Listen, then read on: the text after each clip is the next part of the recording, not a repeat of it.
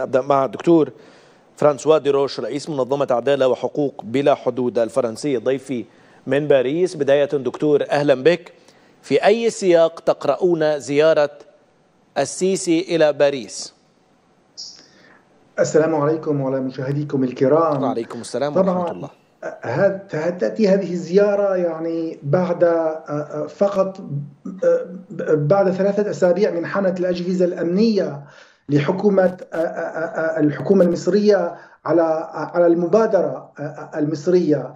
و وهذا طبعا لا الإنسان العاقل لا يستطيع أن يفهم هذا الشيء والمدافعين عن حقوق الإنسان لا يستطيعون أن يفعل أن يفهموا هذا.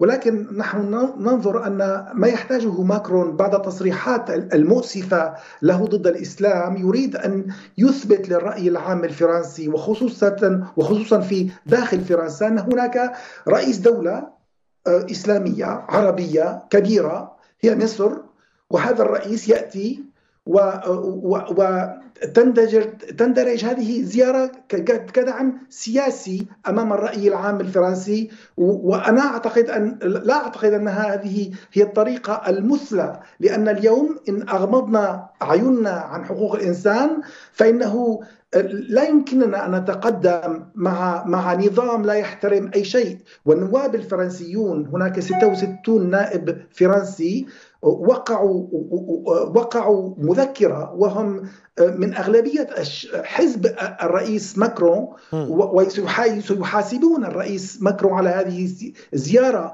ولا أظن أنه من صالح الرئيس ماكرون قبل الانتخابات القادمة أن يتبجج بزيارة من ينتهك حقوق الإنسان لأن المواطن الفرنسي وأن البرلماني الفرنسي لا يقبل ذلك.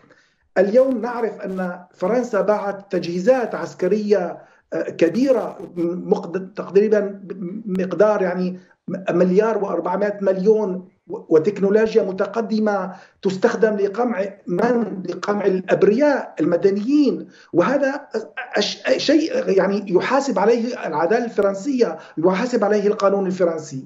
هذه هذه هناك الأسلحة الفرنسية تستعمل لماذا؟ لقمع المعارضين وإيقافهم وتعذيبهم. وفرنسا دولة قانونية دولة حقوق الإنسان. لا يمكن لا يمكن أن نقبل وأن يقبل العدل الفرنسي بيع هذه الأسئلة نعم. حتى تستعمل ضد المدنيين المدافعون عن حقوق الإنسان. مهما كانت اصله مهما كان اصلهم مهما كانت جنسياتهم هم يعني لا يقبلون هذا. نعم دكتور.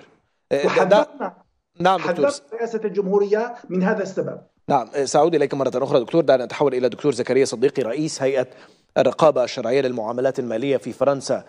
دكتور زكريا يعني الوضع الداخلي الذي يحيط بماكرون تحديدا وبحكومة ماكرون أيضا به لغط كبير خاصة بعد الحملة التي تشن الآن على المساجد في فرنسا. لدينا اليوم عشرات المساجد تخضع للتفتيش هناك تهديدات بالتعامل بشكل مختلف مع مساجد أخرى وإغلاق مساجد أخرى وإخضاع مساجد لرقابة وغير ذلك.